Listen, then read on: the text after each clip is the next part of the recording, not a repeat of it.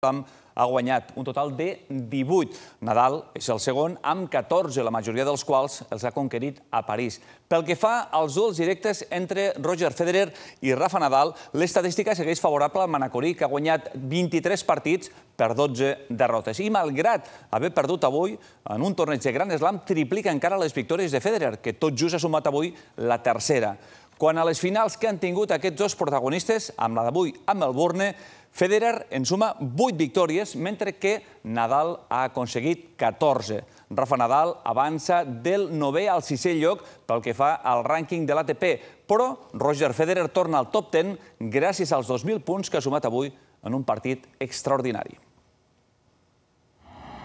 Les llàgrimes del campió engrandeixen una mica més la seva llegenda.